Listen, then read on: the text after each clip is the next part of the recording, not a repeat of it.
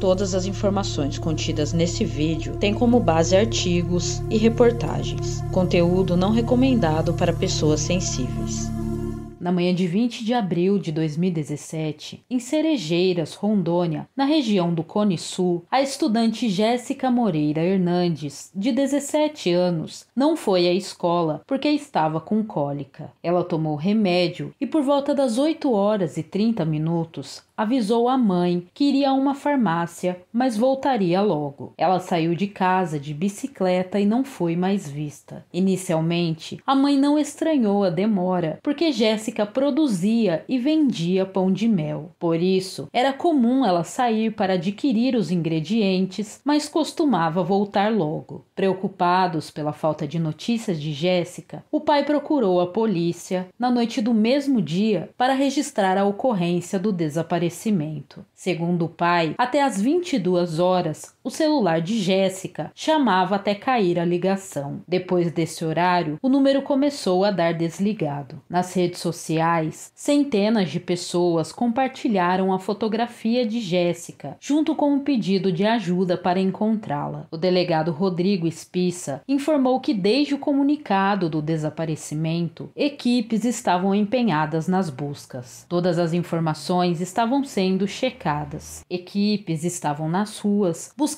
por imagens de câmeras de segurança e ouvindo pessoas. No entanto, ainda não havia pistas sobre o paradeiro de Jéssica. No final da tarde do dia 24 de abril, duas jovens caminhavam próximo a um terreno na linha 4, a cerca de 7 quilômetros da área urbana de Cerejeiras, quando sentiram um forte cheiro fétido. Ao se aproximarem, viram que se tratava de um cadáver enrolado em uma lona. A polícia militar isolou a área até a chegada da polícia técnico-científica Politec de Vilhena. Familiares de Jéssica, sabendo que o corpo havia sido encontrado, estiveram no local e fizeram um reconhecimento prévio. Segundo a polícia, o corpo estava em estado de decomposição e o autor do assassinato tentou incendiá-lo. A perícia técnica constatou que o cadáver apresentava o total de 13 perfurações que atingiram o pescoço e as costas, causadas por instrumento pérfuro cortante. Após ficar quatro dias desaparecida, a polícia confirmou que o corpo encontrado era mesmo de Jéssica Moreira Hernandes de 17 anos. Posteriormente, o laudo do exame tanatoscópico apontou que a causa da morte foi asfixia provocada por múltiplos ferimentos na região cervical, causados por instrumento pérfuro cortante, provavelmente uma faca. No dia seguinte, 25 de abril, a Polícia Civil prendeu o namorado de Jéssica, Ismael José da Silva, de 35 anos, o primo dele, Diego de Sá Parente, de 26 e a esposa de Diego, todos suspeitos de terem envolvimento no assassinato. A prisão temporária foi solicitada e autorizada pela Justiça em razão de indícios iniciais de autoria. Após a prisão dos suspeitos, centenas de populares se reuniram em frente à delegacia. No local, conforme a polícia militar, um grupo reagiu com violência e depredou o prédio jogando pedras nas janelas. O delegado responsável pelo caso, Rodrigo Pissa subiu no muro e pediu calma para os manifestantes. Ele ressaltou que os três suspeitos foram presos para que não interferissem nas investigações e orientou os populares que não os condenassem antecipadamente. Porém, o pedido não surtiu efeito, pois em seguida os manifestantes se aglomeraram na entrada do presídio de Cerejeiras e tentaram invadir a unidade. Foi preciso solicitar reforço policial de Vilhena. O grupamento de operações Especiais GOI se deslocou para Cerejeiras, realizou uma barreira na rua com viaturas e policiais e fizeram uso de balas anti-motim para dispersar a multidão, que só saiu do local por volta das 21 horas. No final da manhã do dia 25 de abril, o corpo de Jéssica foi liberado pela funerária. O velório aconteceu na capela mortuária de Cerejeiras e reuniu centenas de pessoas. Em 26 de abril, a polícia realizou uma coletiva de imprensa para esclarecer detalhes sobre o crime. Segundo o delegado Rodrigo Espissa, Diego de Sá Parente, primo do namorado de Jéssica, Ismael José da Silva, contou o que aconteceu no dia do desaparecimento da jovem. Diego relatou que Ismael, com quem Jéssica namorava há quase três anos, era extremamente ciumento e estava desconfiado que ela viu traído. Por conta disso, Ismael o chamou para fazerem uma espécie de teste de fidelidade com ela. Diego atraiu Jéssica para a casa da mãe dele sobre o pretexto de que tinha provas de uma suposta traição de Ismael. Na casa, Diego convidou Jéssica para a cozinha, ela se sentou de costas para onde Ismael estava escondido, ouvindo a conversa. Diego tinha a função de descobrir se Jéssica já havia traído Ismael. Ele disse que mostraria as provas da suposta traição se Jéssica confessasse que já havia sido infiel. Segundo Diego, após a confissão, Ismael, que estava com um pedaço de ferro na mão, perdeu o controle, entrou na cozinha e assim que Jéssica se virou em sua direção, levou um golpe na cabeça e desmaiou. Para o delegado, talvez Jéssica tivesse até mentido sobre a traição na ânsia de receber a informação de Diego. Diego disse que não esperava essa reação de Ismael e ficou estático diante da ação. Em seguida, Ismael levou Jéssica para uma área sem móveis e ela começou a recobrar os sentidos. Ao perceber, Ismael a empurrou, ela bateu a cabeça no chão e desmaiou novamente. Diego enfatizou no depoimento que alertou o primo e pediu para que ele parasse. No entanto, Ismael pegou uma faca e golpeou Jéssica nas costas e em seguida na garganta. Diego disse que virou o rosto para não ver a cena. Segundo seu relato, logo após, Ismael teria o ameaçado, dizendo que se não o ajudasse também o mataria. Enquanto Diego permaneceu no imóvel, Ismael saiu e minutos depois voltou com uma picape, uma lona e gasolina. Eles enrolaram o corpo, amarraram e colocaram no veículo. Ismael pegou a bolsa e o celular de Jéssica e Diego ficou responsável por limpar os vestígios de sangue da casa e por se livrar da bicicleta. Diego desmontou a bicicleta de Jéssica e jogou as peças dentro de um poço no terreno da casa. Ismael negou qualquer envolvimento no crime. A esposa de Diego, que também havia sido presa, foi liberada no dia seguinte por falta de provas. Ismael e Diego foram levados para a cadeia pública de Cerejeiras. No início da noite de 26 de abril, uma equipe do Corpo de Bombeiros encontrou a bicicleta desmontada de Jéssica, duas camisas camisetas sujas de sangue e um par de chinelos no poço indicado por Diego. Ele confirmou que as camisetas eram dele e a mãe de Jéssica reconheceu o par de chinelos sendo da filha. Trinta dias após a prisão temporária de Diego e Ismael, em 25 de maio, o delegado do caso, Rodrigo Espissa, pediu a prorrogação da prisão dos dois. O pedido foi acatado pela justiça enquanto a polícia seguia com a investigação. Em 7 de junho, o celular que pertencia pertencia a Jéssica foi recuperado pela polícia. O aparelho foi localizado por um homem na zona rural do município, próximo ao local onde o corpo foi encontrado. Através da perícia do GPS do celular, ficou comprovado que na manhã do crime, 20 de abril, Jéssica esteve na rua da casa da mãe de Diego, local onde ocorreu o assassinato. Os aparelhos celulares de Ismael e Diego também foram periciados. Em dias que antecederam o crime, foram realizados realizadas várias pesquisas sobre como clonar o WhatsApp, como recuperar conversas apagadas e como rastrear uma pessoa pelo número do celular. Foram feitas as mesmas pesquisas através do computador que Ismael utilizava no trabalho. Uma testemunha que morava ao lado da casa onde o crime teria ocorrido afirmou que ouviu uma voz feminina dizendo que não havia mandado mensagem e nem ligado para ninguém. A calça e a camisa usadas por Ismael Ismael no dia do crime foram entregues à polícia por ele mesmo. As peças foram encaminhadas para a perícia em Porto Velho. Foi identificado na calça presença de sangue humano, mas não foi possível realizar exame de DNA. Ismael e Diego foram denunciados pelo Ministério Público, acusados pelos crimes de homicídio qualificado, por emprego de meio cruel, recurso que dificultou a defesa da vítima por feminicídio e também por ocultação de cadáver. O Ministério Público pediu também que a prisão temporária fosse convertida em preventiva. Tanto a denúncia quanto o pedido de conversão da prisão foram aceitos pela Justiça. A decisão foi da segunda vara criminal, que destacou que o crime era gravíssimo e gerou um relevante temor e sensação de insegurança à sociedade, sendo necessário o isolamento dos acusados. A mãe de Jéssica, Alzineide Moreira, conhecida como Dona Neide, não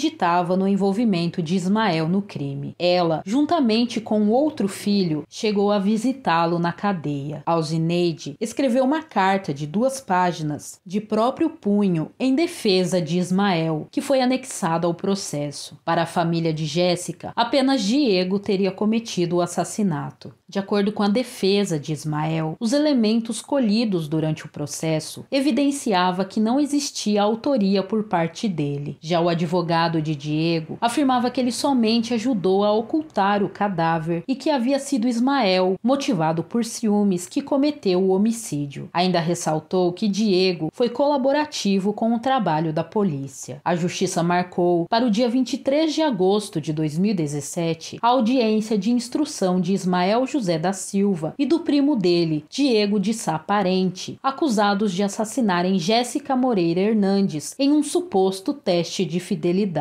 A audiência durou mais de 14 horas e aconteceu a portas fechadas. Alguns colegas de trabalho de Ismael foram ouvidos e afirmaram que no dia do crime, 20 de abril, apesar de não terem visto Ismael sair no horário de expediente, notaram sua ausência ao terem precisado dele para resolver alguns assuntos ligados ao trabalho. Alguns policiais que trabalharam nas buscas por Jéssica relataram que em certos momentos perceberam que Ismael e seus familiares de alguma forma pareciam tentar atrapalhar as investigações, aparecendo juntamente com a polícia ou até mesmo antes em locais informados de onde haveriam provas que pudessem indicar o paradeiro de Jéssica. Durante a audiência, a mãe de Jéssica passou mal e oito testemunhas foram dispensadas para serem ouvidas na segunda etapa da audiência, que aconteceu em 31 de agosto. O proprietário da picape utilizada para transportar o corpo até o local onde foi encontrado relatou que foi Diego quem pediu a ele o veículo emprestado no dia do crime. Da mesma forma, o proprietário da loja onde a lona usada para enrolar o cadáver foi comprada disse que foi Diego quem efetuou a compra. Testemunhas também afirmaram que havia sido Diego quem comprou comprou a gasolina. Os testemunhos contradiziam a versão contada por Diego ao ser preso em 25 de abril de que após o assassinato ele permaneceu no imóvel e Ismael teria saído e retornado com a picape, a lona e a gasolina. No laudo, referente ao exame de corpo de delito feito em Diego, no dia em que foi preso, apontou a presença de três ferimentos superficiais em fase de cicatrização no dorso do quarto e quinto dedos da mão direita. A perícia apontou ainda que os ferimentos poderiam ter sido causados cerca de cinco dias antes, o que corresponderia ao dia do crime,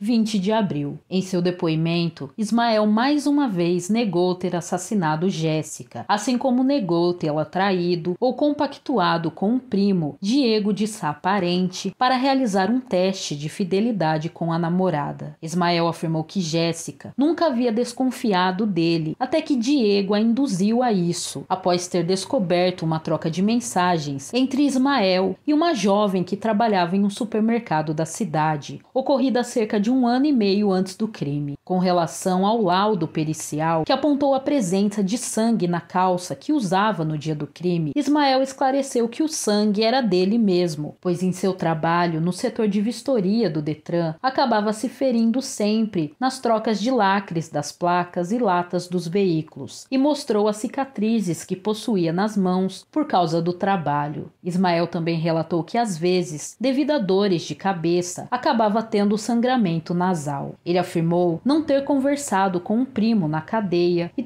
e ter solicitado ficar em cela separada devido a temê-lo. Ismael relatou ter sido pressionado pelo delegado a admitir o crime após a confissão de Diego. Segundo Ismael, o primo sempre foi muito mentiroso e invejoso. Afirmou também que Diego já teria dado em cima de Jéssica e mesmo desconfiado que ele pudesse ter algo a ver com o desaparecimento dela, Ismael não o acusou formalmente, a pedido de sua mãe, que o aconselhou a não denunciá-lo sem provas. O juízo da segunda vara criminal de Cerejeiras absolveu Ismael José da Silva da acusação de ter matado a namorada Jéssica Moreira Hernandes, de 17 anos. Já o primo dele, Diego de Saparente, também acusado pelo crime, foi pronunciado a júri popular. Após avaliar todas as provas dos autos, o juiz Jair Staves Barreto concluiu que Jéssica foi morta no mesmo dia em que desapareceu, em 20 de abril de 2017, entre 8 horas e 30 minutos e 9 horas da manhã, após ter sido atraída por Diego até a casa da mãe dele.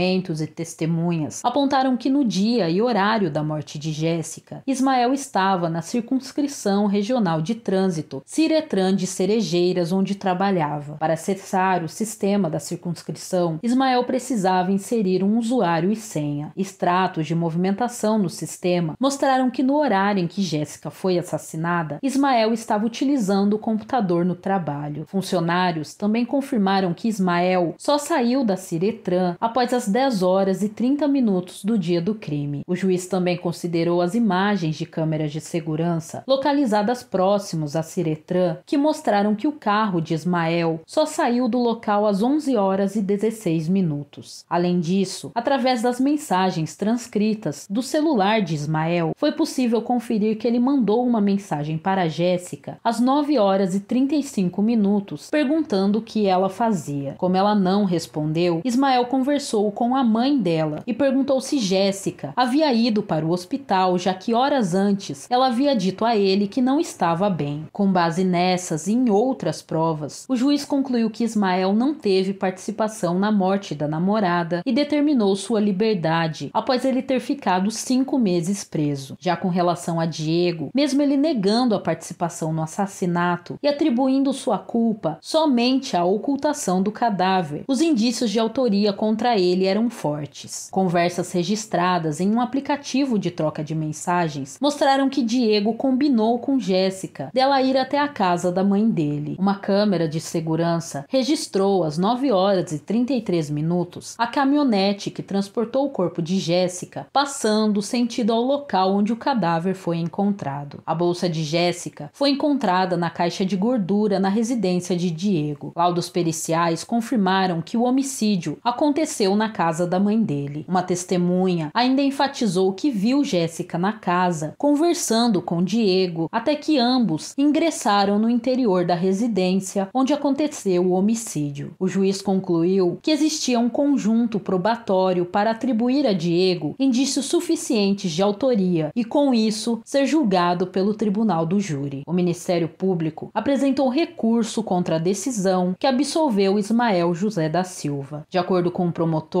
Marcos Alexandre de Oliveira Rodrigues, que ingressou com o recurso, Diego não tinha motivo algum para matar Jéssica. Havia muitas provas que não foram devidamente analisadas. O promotor tinha convicção de que Ismael havia assassinado Jéssica, porque existiam traços de passionalidade no crime. A exemplo do número de facadas que Jéssica recebeu, o indicativo de raiva e ódio pela vítima. O Tribunal de Justiça de Rondônia acatou o recurso apresentado pela promotoria e decidiu que Ismael fosse a júri popular, mesmo tendo sido inocentado em primeira instância. Em 22 de agosto de 2018, no Fórum da comarca de Cerejeiras, aconteceu o julgamento de Ismael José da Silva e Diego de Sá Parente, acusados pelo assassinato e ocultação de cadáver de Jéssica Moreira Hernandes, de 17 anos, ocorrido em 20 de abril de 2017. A defesa de Diego pediu ao judiciário para que ele usasse roupas comuns no tribunal do júri, já que, de acordo com o advogado, o uso de uniforme de presidiário poderia causar discriminação de Diego em relação relação a Ismael, outro réu do caso, que aguardou ao julgamento em liberdade. O juiz Fabrício Amorim de Menezes, da segunda vara criminal de Cerejeiras, aceitou o pedido e autorizou Diego a usar roupas convencionais durante o júri. Desde as quatro horas da manhã, um grupo já esperava a abertura do fórum para assistir ao tribunal do júri. 40 senhas foram distribuídas para família, amigos e moradores. Outras 10 senhas foram destinadas à imprensa. Das 52 testemunhas arroladas, foram ouvidas três listadas pelo Ministério Público, cinco em favor de Ismael e cinco em favor de Diego. O julgamento foi presidido pelo juiz Bruno Magalhães Ribeiro dos Santos e o corpo de jurados composto por cinco homens e uma mulher. Depois do interrogatório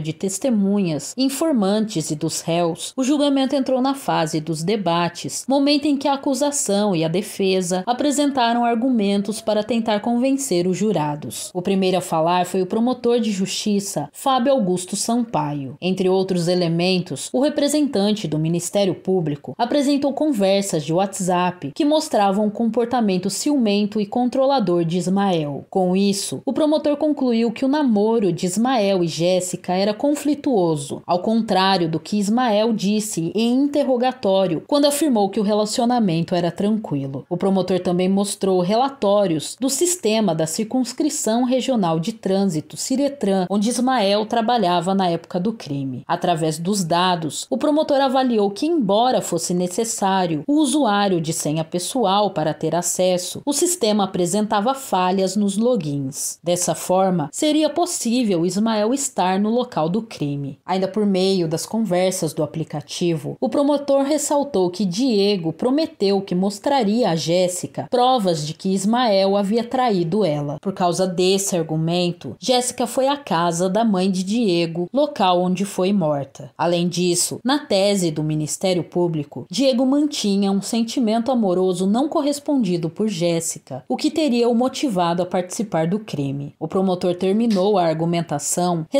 que os laudos apontaram que Jéssica foi morta de forma cruel. Ela sofreu 13 golpes de faca e não apresentava lesões de defesa, mostrando que foi surpreendida. Na conclusão do Ministério Público, Ismael praticou o homicídio por ciúmes e Diego contribuiu para o crime. A promotoria pediu a condenação de Ismael e Diego por homicídio com quatro qualificadoras: motivo torpe, feminicídio, recurso que impossibilitou a defesa da vítima e meio cruel, e também por ocultação de cadáver. A defesa de Ismael sustentou que houve falhas nas investigações e que documentos e testemunhas provaram que Ismael estava no local de trabalho no momento do crime. Afirmou que Diego queria atrapalhar o relacionamento de Ismael e Jéssica e já havia criado discórdia entre o casal anteriormente. Salientaram ainda que, além das conversas do aplicativo, uma testemunha viu quando Jéssica encontrou com Diego na casa onde aconteceu o crime. A defesa de Ismael destacou ainda que Diego apresentou várias versões durante as investigações e que ele tinha interesse sexual por Jéssica. Ainda enfatizaram que Ismael não fugiu, demonstrando que ele queria provar sua inocência. Já a defesa de Diego destacou que ele não mantinha nenhum interesse amoroso ou sexual por Jéssica. Justificou que o laudo apontou que ela não sofreu violência sexual, o que poderia ter acontecido caso fosse verdade que Diego mantivesse desejos não correspondidos por ela. O advogado destacou que Diego não tinha motivos para matar Jéssica, ao contrário de Ismael, que estaria com medo de perdê-la em virtude de uma possível traição e da insegurança por causa da diferença da idade entre eles, que era de 18 anos. Disse que o cliente somente ajudou a embalar o corpo, pois foi ameaçado por Ismael. Após o crime, Diego teria jogado a bicicleta e roupas sujas de sangue dentro de um poço localizado na residência onde aconteceu o homicídio. Já a bolsa e o celular de Jéssica teriam sido entregues para Ismael. Contudo, dias depois, a bolsa de Jéssica foi encontrada na caixa de gordura externa da casa de Diego. A defesa argumentou que caso Diego tivesse feito tudo sozinho, não teria motivos para ficar com a bolsa, teria jogado dentro do poço também. Com isso, a defesa levantou a hipótese da bolsa ter sido plantada para incriminar Diego. Na conclusão, o advogado afirmou que o crime havia sido premeditado e que Ismael estava tentando jogar toda a culpa em Diego. Após dois dias de julgamento, por volta das 23 horas e 10 minutos do dia 23 de agosto, a sentença foi proferida. Os jurados absolveram Ismael José da Silva pelo crime de homicídio qualificado. No entanto, ele foi considerado culpado por ocultação de cadáver e condenado a um ano de reclusão em regime aberto e 10 dias multa. Devido a Ismael ser réu primário, ele poderia recorrer em liberdade. Já o primo dele, Diego de Saparente, foi condenado a 18 anos de reclusão por homicídio qualificado e mais um ano por ocultação de cadáver em regime fechado e sem direito de recorrer em liberdade. Ismael afirmou que discordava da decisão, não esperava o resultado, pois alegava que era inocente, já que em nenhum momento ocultou o cadáver. Após o julgamento, o Ministério Público de Rondônia e as defesas dos réus entraram com recurso contra as penas. Na apelação, o Ministério Público argumentou que a decisão que absolveu Ismael do crime de homicídio foi manifestamente contrária à prova dos autos e pediu a anulação da decisão. O órgão ainda solicitou que a pena de Diego fosse reformada, atribuindo um quarto da pena para cada uma das agravantes reconhecidas. A defesa de Ismael também entrou com recurso, pedindo um novo julgamento em relação ao crime de ocultação de cadáver. Os advogados sustentaram que não haviam provas da participação de Ismael no crime. No recurso de Diego, a defesa também pediu anulação do julgamento, a fixação da pena base no mínimo legal e aplicação da atenuante da confissão. Na avaliação dos recursos, o relator Valdeci Castelar Citon concluiu que os jurados decidiram de forma contrária em relação a Ismael e determinou que ele fosse julgado novamente pelos dois crimes: homicídio qualificado e ocultação de cadáver. Segundo o relator, se em um momento os jurados entenderam que Ismael não praticou o homicídio de sua namorada, não era crível que tivesse praticado a ocultação do cadáver sem que tivesse ao menos participação na morte dela, nem que fosse meramente no planejamento, por quanto a motivação evidenciada para a ocultação de cadáver e reconhecida pelo júri seria a mesma que teria ensejado o homicídio. No caso de Diego, o Tribunal de Justiça concedeu a atenuante da confissão qualificada. Dessa forma, a pena passou para 18 anos de reclusão e 10 dias multa. Ele continuou preso na casa de detenção de Cerejeiras. Em 23 de outubro de 2019, Ismael José da Silva foi novamente julgado pelo Tribunal do Júri em Cerejeiras pelos crimes de homicídio qualificado por motivo torpe, meio cruel, impossibilidade de defesa da vítima, feminicídio e ocultação de cadáver. O júri foi presidido pela juíza Ligiane Bender. O